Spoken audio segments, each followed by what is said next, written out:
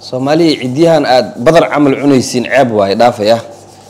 Maqas barbaraa imaanaysaa ciddida waa lagaa jaraa waa lagu xoqaa. Mujadido maasha allah gabar soomaaliyeed asturan. Golofisa xataa gacanta ugu jira weysada kaama jebinayso anaa id eri gudoomiyaasha degmooyinka waaberi iyo hodan ayaa xalay xariga ka jiray timajaraha maqas berber oo ah mid si casri ah loo qalabeeyey oo laga furay waddada maka al mukarama ee magaalada muqdisho. Timajarahan ayaa soo kordhiyay adeegyo cusub oo timajarayaasha kale aysan lahayn sida jaris casri ah cidiyo jar iyo face treatment oo ah wejiga oo lagu dhaqayo iyadoo haaraha iyo madmadowga saaran lagaa hoolayo cabdiweli cilmi beereed oo ka tirsan maamulka maqas berber ayaa sharaxaya adeegyada cusub ee ay xaruntani ku soo kordhisay dalka kuwaas oo markii hore dibadda loo aadi jiray. Kambanigan maqas barbar waa balbieri aad mataqaanaa yani high level ah. Meeshii la aadi jiray yani dubai dadka aadi jiray servicekii dubai oo laga samey jiray servicekii mataqaanaa bangladesh loo aadi jiray oo dhan inta waa yaallaa macnaha marka waxaan aad ugu faraxsannahay in mataqaanaa maanta aan aan waddanka aan ka furno wixii mataqaanaa oo bannaanka loo aadi jiray. Marka waxyaala aheen waxaa ka mid ah inaan sameyno face treatment inaan sameyno waxaa kaloo sameyn waxaa ku yaalla mataqaanaa massagea jiro. Qofka intii mataqaanaa loo soo jaraayo intii loo jaraayo qofka cijijara loo sameynaa extra waxaa jiro additional service jiro.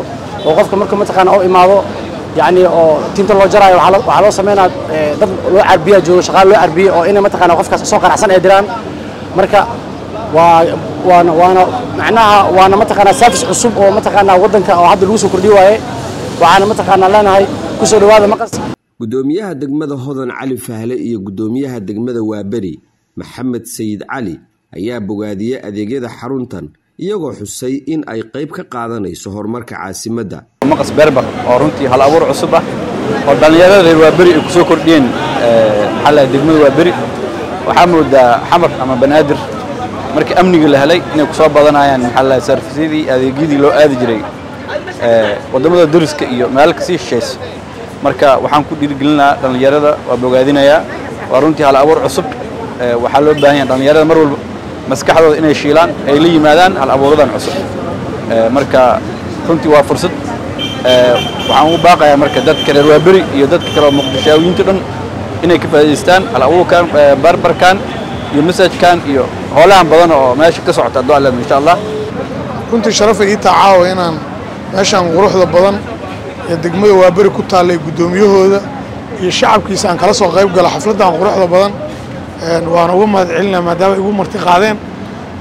Runtii meeshan waxaa nala tusay hal abuur qurux badan oo dhallinyaro soomaaliyeed ay ku fakereen markaan aragna gudaha iyo qalabka la keenay iyo sida loo diyaarsho iyo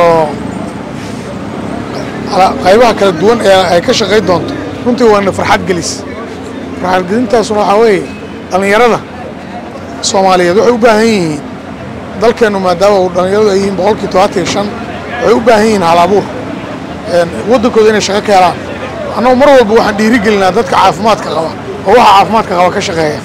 Marka saaxiibka yaxye ganacsigaaga cusub waa kugu ducaynaynaa waxaan ku leenahay horumar waxaanaad samaynee haddaan la kaftamana saaxiibka yaxye qaayadiisa waa taqaanaan. Malawax oo xagga ku taalla.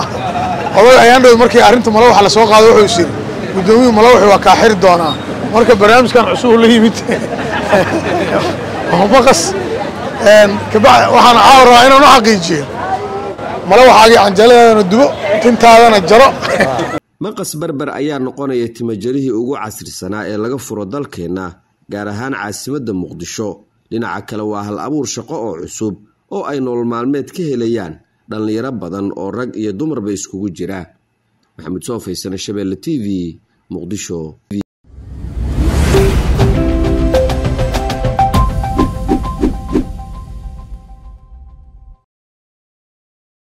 internet balas. Waa adeeg ay macaamiishu ka heli karaan internet faibar ah oo xawaarihiisu yahay labaatan megabytes ber second. Ayna la socdaan rasiifar ay ku jiraan in ka badan afar kun oo kanaal iyo boqolaal daqiiqado oo ah ku hadal bilaash ah